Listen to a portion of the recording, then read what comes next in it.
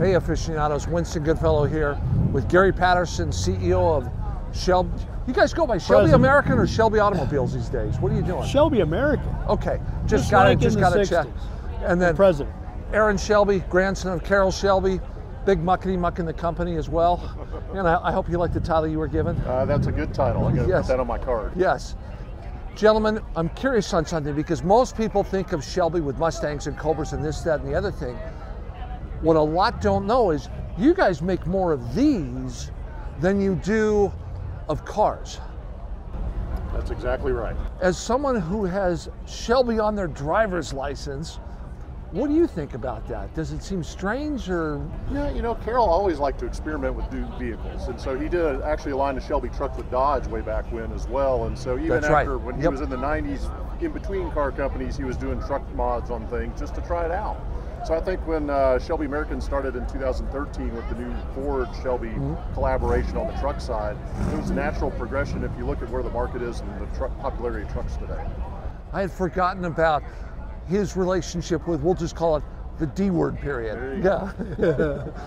Gary, then we got we got one mother here that's taller than all of us, and one guy here that's shorter than all of us, basically. Right. What's what's up? Well, you know, Winston, it's it's like a different flavor of ice cream. We all like ice cream. We all like trucks, right? So we might as well have one that's easier to get in, goes quicker around corners. It might do zero to 60 in 3.45 seconds. So that's more of that truck. This truck, a little bit bigger. So we start on with an F250 chassis, and we have a 6.7 liter turbo diesel that makes over a thousand pound feet of torque right? And then of course we put all the Shelby treatments on with the hood and the big bumpers and lights and suspension and wheels and tires and you know, so it's it's bad boy. So then the question is, Mr. Patterson, has this had the uh, how do we call it the boat speed test? And Of course. So, do, sh- shall we explain what the boat speed test is all about? Well, I think you should lead on the boat speed test because that seems to be a, a thing for you. Well, this is great because what? So for him, there's no such thing as too much horsepower, Correct. except for Well, if you have enough that you can accelerate fast enough with your pressure suit on, you know, like the F 16 fighter pilots, and you still black out from the acceleration, that might be enough. so coming from that point of view. There was one time Gary was telling me about. He was curious whether his truck would be faster than his power boat on Oh, water. there was that. Yeah, I Yes. forgot about that. Oh, So it was a it was a thing where we would go to the lake, and was the GPS reading higher towing than it was with the boat on the lake? And the boat would do 107. So, you know, yes. you can you can decide. Yeah. And the bottom line was, if memory serves me correctly, the truck with the boat on the trailer was faster than just the boat on the water. That's correct. Yes. So, therefore, have you done the boat speed test with? I have not. I have not, but it's a good point. I'll have to look for some speed rated trailer tires because, you know, sometimes that was an issue. So, you know, while we're talking about Yes. that, but really, the cool thing about these trucks is unlike the truck that was towing the boat at the time, these are far more powerful. So I'm sure that that would be a distant memory. How much testing have you done with these things? How much fun have you had? Well, we've got pictures of it in the air. I was just about to ask, how because much air you know, have you got? even and though how- this is a big Yeah. boy, you know, actually Vince did it, not me. You know, Oh, because I'll I can't yes. just have all the fun myself, right? We've got a picture of Vince, not this specific truck. We had one that was blue, and he's got a picture of it actually in the air in the sand dunes. yeah, and no CGI on this one, real deal. So, Exactly right. What about what about you, Aaron? Are you going out and catching air in trucks? Uh, that's not my speed. No, I'm a little more on the on the street kind of guy. So I like the speed of the trucks on the road and see where we go with that. We don't have a whole lot of uh, off-road opportunity around Dallas right now. So Yeah, Dallas keeps getting more crowded. it does, or so sure. it seems. Yep. So what's uh, what are sales on these things like? Is one preferred to the other? It's really just as Gary said, it's just kind of the flavor of the month and what somebody wants. There is a passionate crowd for this street truck here, and there's a passionate crowd for this F-250 Super Baja as well. So it's interesting, and it, while I say I only go on the street, I've got some clients in Dallas that love this truck, and I don't think they've ever had it off-road. They just want a big truck. Yeah, that says Shelby on it, blah, blah, blah. So uh, give me some more specs on these. So, uh, Gary, you were saying over a thousand uh, Pound feet of torque. Yeah, But that one is a gasoline engine, supercharged, five liter Coyote, you know, 32 valve, double road can V8, uh, makes 800 horsepower. So, you know, but it's an F 150. yes. So it's surprisingly fast and it handles well and it stops well. So that's good. It's We all, had- you know, Shelby's about performance. Yes. Performance is our business, as his grandfather would say. So it continues to be. We had some fun with this like two, three years ago. I'm trying to remember when we did that shoot. Uh, Monterey, Yes. maybe two years ago, Yeah. I think. And I was dumbfounded by how much I like these things. It's a very nice truck. Yes. Yep, very nice. Yeah. Uh, quarter mile time. I don't have that for that yet, so I don't know. I don't. I'm know actually a little staggered. I know, I know. Yeah.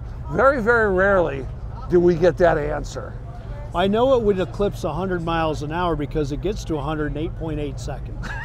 so I can tell you the trap speed would be very quick, like faster than most of these muscle cars in the 60s would have run back in the day. Yes. So, and now you can do it in a truck. That's right. With your arm hanging out the window. Oh no no no no no! Air conditioning on. I was you got going right nice there. tunes. I mean, all the creature comforts in the world, and it gets better fuel economy. No drama, no fuss. You can have passengers. Yes. You know, Yeah. makes it nice. And of course, the number one consideration for you is fuel economy. Well, that could be, but uh, usually I don't get that great of fuel economy because I have a problem with with this foot. it just got heavy. That's all. Oh yeah, it's. Let's put it this way: when you go out with this guy behind the wheel, you're having some fun. Yep. So, And you know, I did win the fuel economy contest at Hallett Motor Speedway one year, uh, where they had a, a Fusion hybrid, and we, they had everybody drive it. And all I did was drive the race line, and I proved that I could be. Not that I'm competitive or anything, but I got the little trophy at home that says I had the best fuel economy. But don't tell anybody. That was that was top secret. It ruined my image. no question. Well, gentlemen, shall we take a, a walk Sure, along let's here, go. Let's do Talk some cars. Super Snake is a nameplate that has been with Shelby since 1967 when they did a one-off co, a one-off GT500 with a 427 in it. There was a smoke and cool piece that was realistically the fastest car that year because it was tested 170 plus miles an hour. And then at Fire, it was with Firestone with the tires, if I'm remembering correctly, that it was uh, that it did like 140 miles an hour for 24 hours with Carroll behind the wheel part of the He time. was not, I don't believe. Okay. So. Okay, so what when I say Super Snake to you, what is what does that mean? So to me, when you hear Super Snake, to me it's the Mustang, and it's what as, Carroll got back with Ford, and that's what we do at Shelby American Day. Is kind of our top line is the Super Snake line for the Mustang today. So you've got that same Super Snake stripe that we use. It's the highest performance piece that we have on the Mustang that's roadworthy, and that's really what it means. It's just the epitome of that performance side for Shelby American. Gary, tell me about the development of this, how it has progressed. started in 2007, Winston. So uh, in 67, the Mustang that you guys just described was the best of the best. It's Yep. high speed. It had a 427, you know, like a NASCAR engine instead of a 428. So when you take this, we took a, a GT500 Mustang um, that was built by Ford under license in 2007. We said, oh, gee, what could we do with this? Right? Well, the DNA of Shelby says what? Performance That's is our exa- business, more, yes, right? more is better. More is better. So we changed the hood, we changed the wheels and the tires and the brakes and suspension, you know, and we put more power in it. So instead of just 500 horsepower in 2007, we had 725 horsepower, right? And that car actually did, since you want all these quarter mile things, quarter mile was 1087 at 134 miles an hour, according to Muscle Mustangs and Fast Fords magazine. So, and it's, I should have remembered the whole 2007. Here I was saying 2013, but we're basically talking this body style platform. It was because when I first went to you guys, and you handed me. You said, "Okay, which Super Snake do you want?" And I said, "Okay." What's it? 605 horsepower, if I'm remembering. Was Well, that was the lower amount. convertible version. Okay. and it was only 620 or 605. But, Yes. but you could get the 725. And so I said, "Oh, Gary, 605 is good enough for me for now." And you said, "Yeah, for about the first 50 feet." So, which is okay. Okay, I'm gonna like this guy. and that, that that was a classic. So we started 605, 725. Yeah, and so that car continued to evolve, right? And so this one, you know, being a 23, right? So we're not, we don't have the 24 yet, but the 23, what we did is we did the same formula, but over time we've learned, right? And we've we've gotten better tooling and better components, so Yes. the body panel fit and finish, and you know all those things is much more refined. But there's a lot of things also on here that are better, right? The things that you don't just necessarily see, like the half shafts, instead of the factory half shafts, which are very good, but when you add a lot of horsepower, like the 825, Yes. you need better half shafts, you need better wheel studs and things like that. So you can actually kind of see those, but Yes. not the half shafts. So we got the Borla exhaust, we got the better half shafts, all those kind of things. And then the interior, we've done some nice bits inside so that when you sit in the car, you look out over the hood. What are those touch points that you see? How do you feel when you're Yeah. behind the wheel of the car? How does it shift? How does it feel when you steer? So we've really worked on refining all of those things in addition to being really fast. Tell me a little bit about the development process, because I'm assuming it's mainly you and Vince that are out doing it on the track, or is, is there much more that goes into it?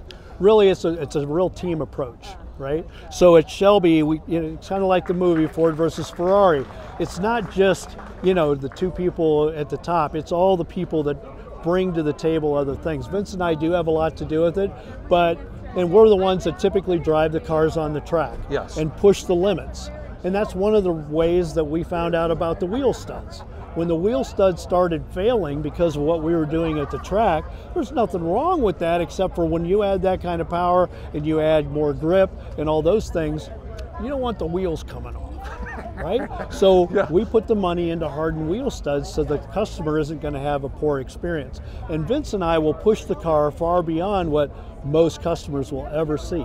So when we deliver the car, it should be a great car that even if it uh, let's get some track time, it's probably going to handle just fine. Awesome. Yeah, I'm I'm curious because here we are throwing out these horsepower numbers. You and I were talking a while ago about manual transmissions because when the you know the Hellcat 170, Dodge Demon 170 came out, 1,025 horsepower automatic. But then I was just saying, you know, it looks like we've reached the limits. And you said, no, we had a manual transmission with a thousand horsepower. Yeah, we did. You know, uh, the Tremec uh, people have been outstanding. Uh, great partners of ours, great supplier, and, and stuff like that. Um, their transmissions, their manual transmissions, the Tremec 6060 would handle just way more horsepower than what they advertised. And we had cars on a routine basis that were off road and had more than a thousand, even rear wheel horsepower, and that transmission uh, held up just fine. Would that be like Code Red? Yeah, like Code Red. So we started that in 07. We never produced that car because it was pretty ornery at that time, but we've since evolved and we've got 30 Code Reds right now in process based on the new GT500. But, you know, we, we keep it down just a little bit. It's only 1,350 horsepower. Winston. So, but that has that has a DCT transmission. So that's the dual clutch transmission, and it, it's not an automatic. It's a manual run by a computer. Yes. And if you see it, and again, it's a Tremec, and if you see that transmission work, and more importantly, if you feel it work and you you know what it's like on the track, I love the engagement and so forth of being involved with a manual transmission. To me, it makes the driving experience much better. Agreed. But if you want to go fast, yeah, me too, right? If you truly want to go fast, you want to have that DCT because as good as I am with a stick, I don't shift in 80 milliseconds. Yeah. And neither But- does anybody else. But you do, right, Aaron? Of course. Well, yeah, Yes. maybe Aaron does. My, my lightning fast reaction time. The- the- oh, you haven't ridden all over you. yeah. So, what, what's your take on manuals and DCTs and all that type of so stuff in terms of the heritage? types of fun Yeah. to me. You know, I've got a 2015 GT350 that I love, and it's got the six-speed, and it's got you know that flat plane crank motor, and that is so much fun to drive but I get my 22 GT500 with the DCT, and it is also fun to drive, just a different experience. So I think it's kind of what you want that visceral experience to be on what you what your preference is. So here's the proverbial questions you guys may or may not be able to answer. Um, we know the affinity and the longevity of the GT500 uh, lineage. Are we going to see another GT350 from you guys? Uh, you never You know, you know, Winston, Carroll's favorite car was the next one. and we're always working on the next one. So you'll just have to figure it out yourself. Have to wait and see. We're taking a trip to Vegas sometime soon. awesome. Why don't we talk a little about the charity? Go on over and take a look at the it. charity car. Okay, here we are, six, a 68 GT350 recreation, Correct. A convertible, and this is going up for for charity auction here. Why don't you tell me a little bit about the charity and then what this is all about? Definitely. So this car was built by Legendary Motors up in the Northeast under license with Shelby. It was donated to the Carroll Shelby Automotive Technical Training School at Northeast Texas Community College, which is the school that Carroll started almost 15 years ago, a little over 15 years ago now. He grew up in East Texas. He wanted to provide an avenue for kids coming out of high school that didn't want to a college degree to get a trade education that could really provide them a livelihood going forward. So, partnered with that school. The Shelby Foundation supports it this car was actually donated straight to the school's foundation, and so we're doing that with in conjunction with the school and the foundation tonight at five o'clock here at Barrett Jackson. Awesome.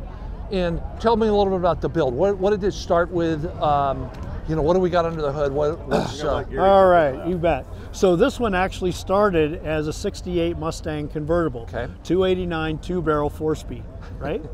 and with uh, the help of Barry Smith's team at Legendary GT Classic Cars and the college, Northeast Texas, Texas Community College.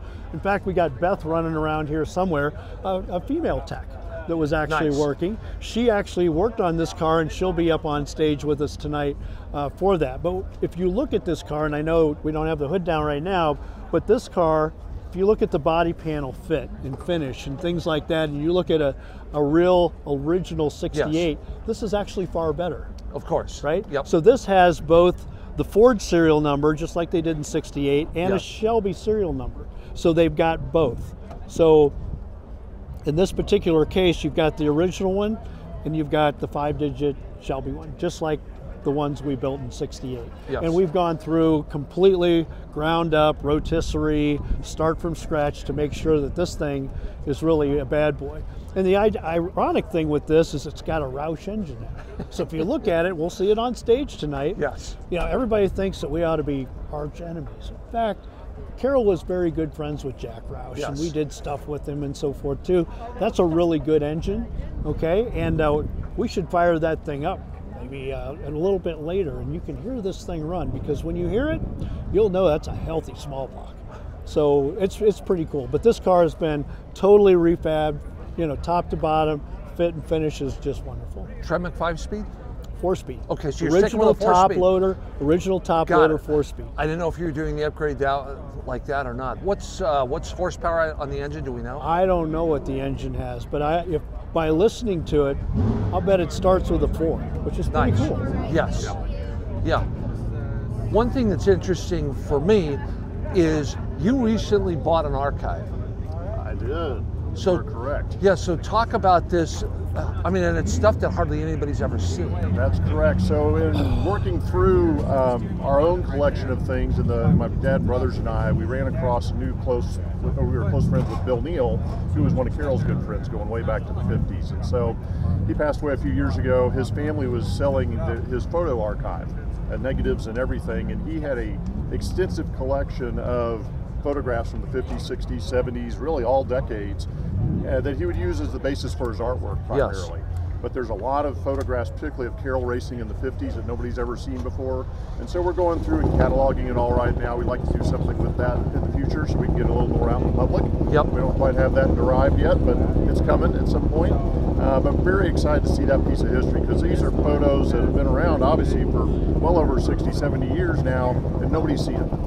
So it's uh, I'm excited to, that we have that, and it's a great piece of history for us to maintain. And if memory serves me correctly, you said you found some pictures of there in there of Carroll at his first race Which, Uh, yes, so he had a picture of Carroll in the MG that he won his first race in in Norman, Oklahoma, which I hadn't seen that one before as well. Uh, and then, you know, really from the 53 on, just more photos of in the Cad Allard, in the Jaguar, you know, several of the Ferraris that he raced. These things that uh, it's all known, but just hadn't seen photos of these before. because we, so many people think of Carroll just as with cars. Yeah. But he was one of the best I could, endurance drivers. I would for sure put him in the category of the 1950s. Won Le Mans in 1959 Yep. and a number of other races. Uh, and then one of the top guns for hire with American privateers. He really was, and uh, it's funny because a lot of people that don't know his career that well don't understand. He won the road racing championship racing Ferraris primarily, not for Ferrari himself, but for the Yeah. guys that were bringing him over. Yes. um, uh, like Parravano and whatnot. So he, he he knew the cars went fast. That wasn't his problem with Ferrari. His problem was with the man. So Yes. And but he if and I might be wrong on this, but wasn't he reasonably good friends with Dino Ferrari, Enzo's son? uh, he, I think he knew him well. I don't know a lot of details about that. Yeah. A little before my time. So No, because I remember talking with Carroll, and I'm, I'm just, um, you know, that was coming to mind. yep, So this is this is going across the block tonight. correct. Five o'clock tonight. Cool. All money going to the charity. All money goes to the school. So and that'll help support scholarships and some new equipment that they need. And for those who want to find out more about the charity, where should they go? So you can go to Carroll Shelby or Shelby.com and then go to the Carroll Shelby Foundation tab on that website. Talks all about what the foundation supports. In addition to the school in East Texas, we've got four other schools we're now supporting, and we also help families with children going through transplant care. With Carroll's history with the heart and kidney transplant, that was the other leg of the foundation that we do a lot of support behind. Awesome. Anything you need to say, Mr. Patterson, that we haven't hit on so far? Well, you know what? It's uh, it's been a lot of dang fun, and uh, if you want to have a lot of fun, this is the place to go. And you know what? What an iconic uh, day here at Barrett Jackson. We, we appreciate everybody being here, and uh, appreciate you coming out. The legacy continues because of all of this. Yeah, dudes, it's been great. Thank you, Winston. Yeah, Sir. and we'll see you on the road. Thanks for joining us.